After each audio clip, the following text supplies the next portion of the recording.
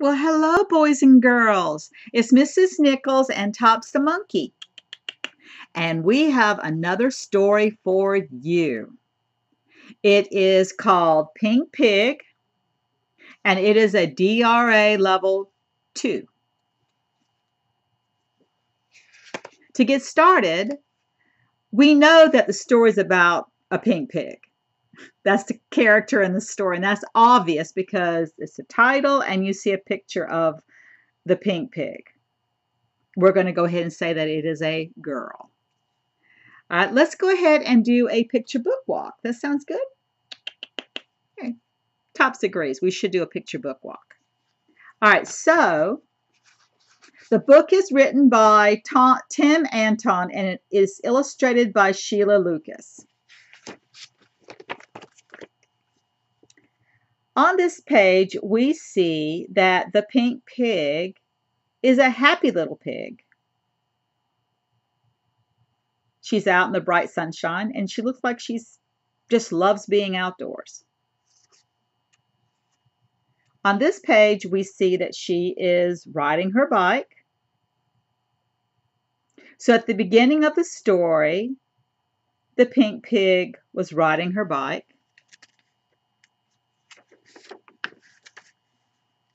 On this page, she is looking at some flowers. Like she's trying to decide what she's going to be doing.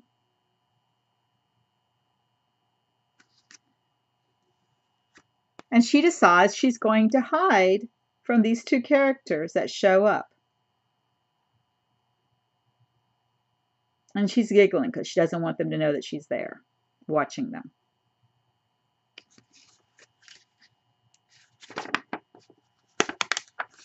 On this page, she's inside her house and she's putting on what I would consider a bib.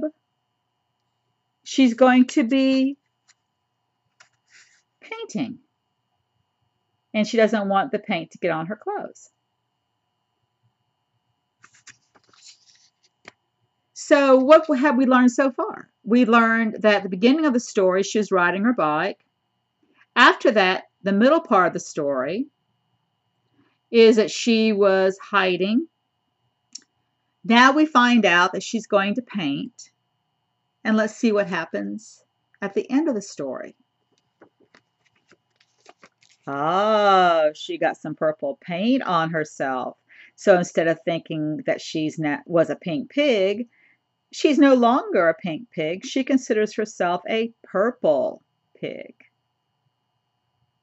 And that's how our story ends. So we were able to gather a lot of information about this story, right, Tops? Just by looking at the pictures. And we understood how the story began, beginning. We understood two events that took place in the middle. And then we saw how the story ended. That's known as sequencing. That's when you the story flows in a certain way. You have your beginning with your character, things that your character did at the beginning. You have things that your character did in the middle part of the story, leading up to the end of the story. And in this situation, she got some paint, and then it ended with her painting, getting paint on herself and calling herself a purple pig. All right. Now, what we're going to do is we're going to go and we're going to count the number of words on each of these pages. Yeah. We've got, we know what the story's about now, and that is going to help us figure out words on the page, but we also need to be able to identify words on the page. That means counting words. All right, so as we open up the book, let's see how many words are on the page. We have one, two, three, four. Four words on this page. Notice that they repeat. This word is the same as this word, except this has an uppercase P where this has a lowercase p, but they're the same word. And here, this word is the same as this word. So in other words, children, if you know what this word is, then you should be able to know what this word is because it's the same one. It's the same word. Same thing here and here. As we turn the page, we see that this page has one, two, three words, but they're the same exact word. So if you can figure out what this word is, then you should be able to read the rest of the page.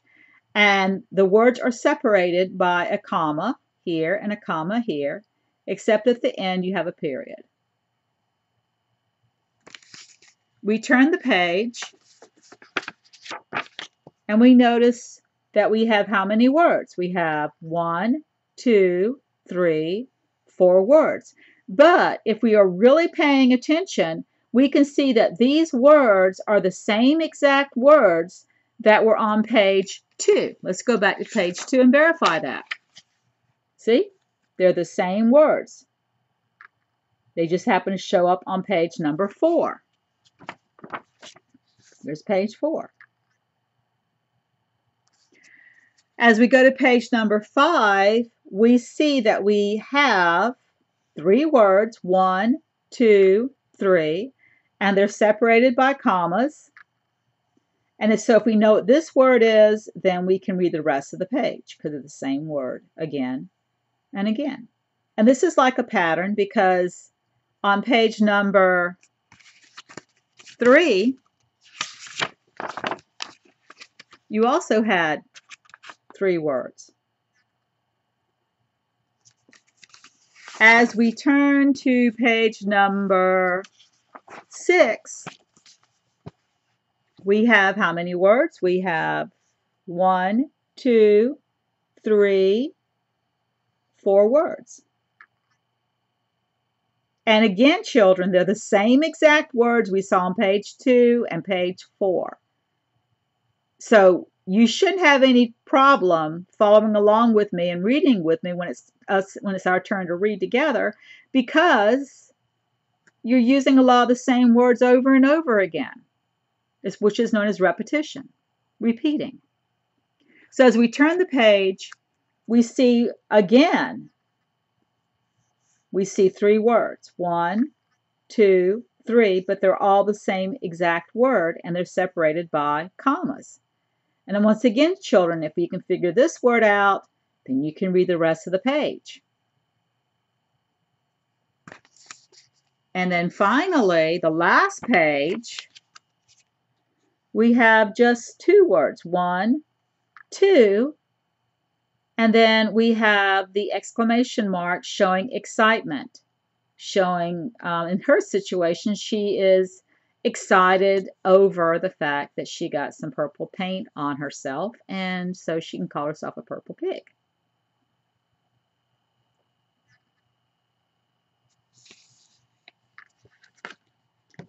All right, let's go ahead and read this story together. Pink pig.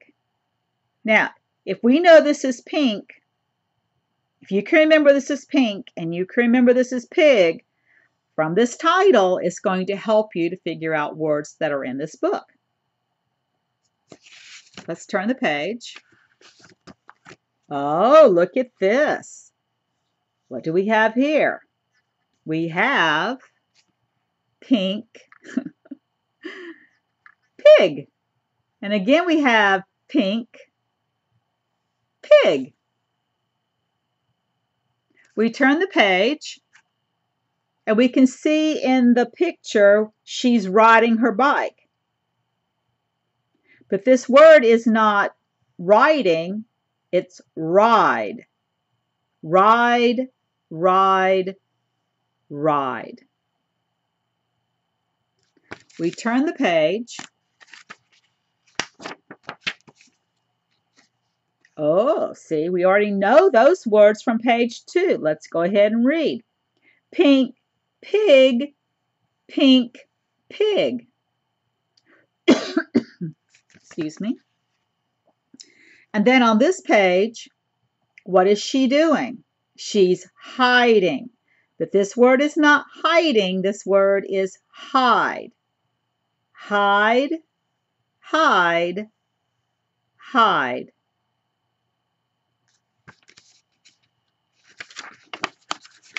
Oh, we shouldn't have any problem with this page. Should have no problem reading with me, guys. Pink, pig, pink, pig. And we turn the page. And what do we see on this page? What's this here? Paint. Paint, paint, paint.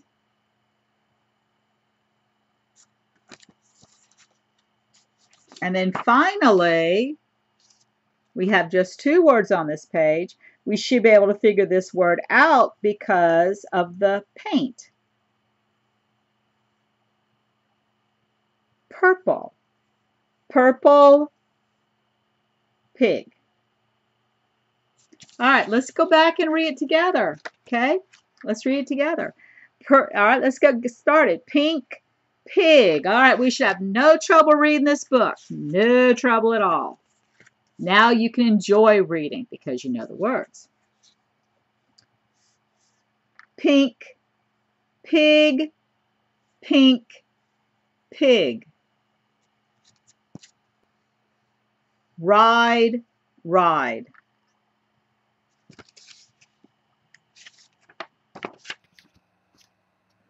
Pink, pig, pink, pig.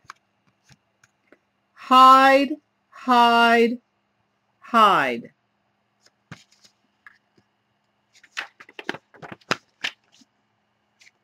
Pink, pig, pink, pig. Paint, paint, paint.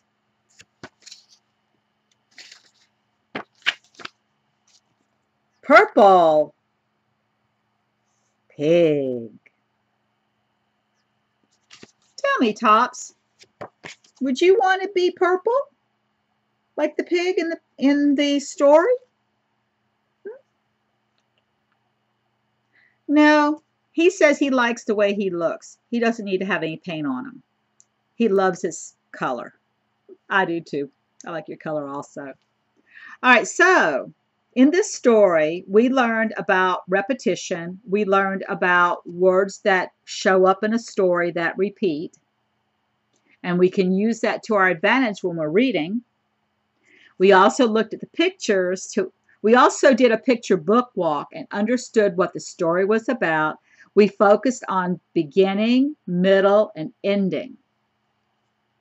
And those and the and that helped us to know about the story so that if you know the story and you understand the story, you can apply that knowledge in figuring words out. So we had more than one skill here that we use today to read this book together, The Pink Pig. Now just go to our website, topsthemonkey.com, and there's a free sequence activity that goes with this book. See you later. Top says he sees you later too. Bye bye.